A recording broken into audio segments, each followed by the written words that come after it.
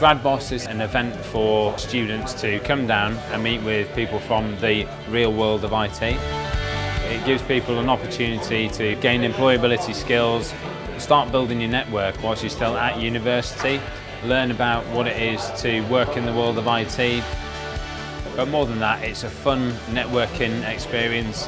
It gives people the chance to meet other like-minded people and really explore the world of IT. Oh, it's great to meet the, the, the, new fresh students and sort of, for me personally as an employer, get the first step or the first leg up to, to see what the new breed of students are coming out and get be the first in the door to invite them to, to come to our companies before the, the big fish snap them up.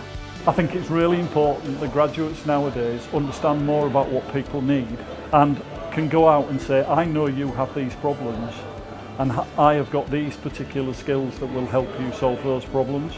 I think any students that get the opportunity to come along and listen to those sorts of people that have been there and done it, they'd be fools not to do it. So what I've enjoyed about tonight's event is that I've had direct contact people in industries that I've never had exposure to. So Chris Ambler within testing and Anthony within mobile development are two industries that I've never really had exposure to. I've done software, I've done web, I've done project management, but testing and, and mobile dev are two industries that I've never really had an exposure to. I'd recommend GradBoss, definitely 100%. It really helps you to think in a different way. It helps you to gain experience with people out there like Chris and Anthony, who are experts in this field of business and testing.